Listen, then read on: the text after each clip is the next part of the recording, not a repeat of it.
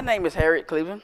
I was stopped by the police at a roadblock, and that's how I assumed my tickets. And I couldn't afford to pay them, so I ended up getting arrested and going to jail for them.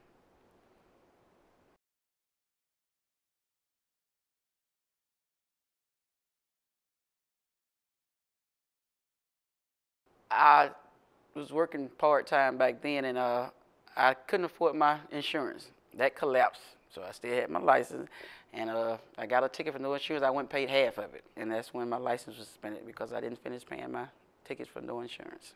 So I was doing wrong, driving while I suspended, but I had to get to work. Had to go pick my son up and take him to school and back and forth in the store. And that's how I ended up getting my troubles with those roadblocks. All of them were set up within half a mile from my house.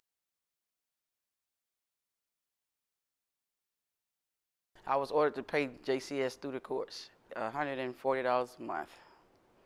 And 40 was going to JCS and 100 would go on my fines. If you could not afford to pay your whole 140 for that month, you have to go in every week. It was hard because I didn't like going and I didn't have the money and it's sort of embarrassing doing that. You know, at my age now, I lost my car trying to pay them. I did a title loan on my car and lost that and trying to pay my utility bills, you know, and they're getting shut off here and there. Well, I wanted to pay my fine, but I couldn't afford it. And like I said, it just hurt my heart that I didn't even have that to take, but I had to take something.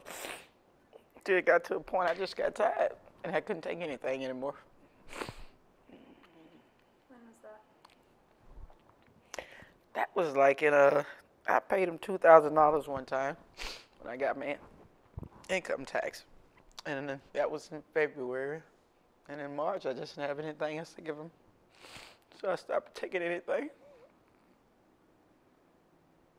I told the lady I would catch up, so I gave her that. I'd like to keep my word, and Esther said, Miss Cleveland, you did keep your word. You gave me that. I said, yeah. Well, I don't understand it. Like I said, I didn't know that they was a private company. I thought it was from the city of Montgomery.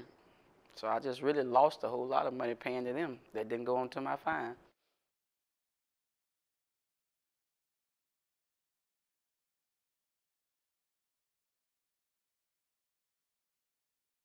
It was a Tuesday morning.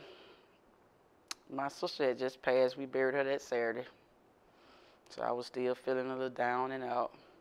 I had my grandbaby with me, and I was sitting up giving him breakfast that morning, and I heard a knock on the door.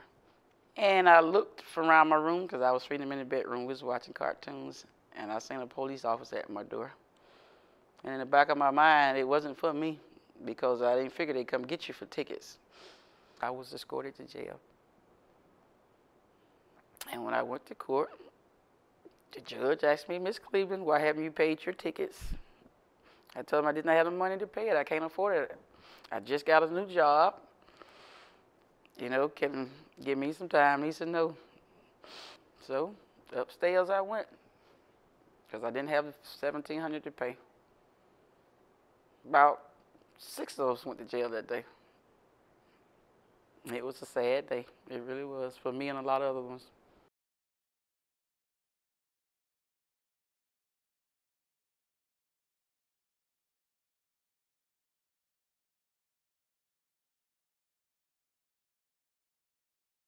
There should never been a JCS period. That's something that never should have happened.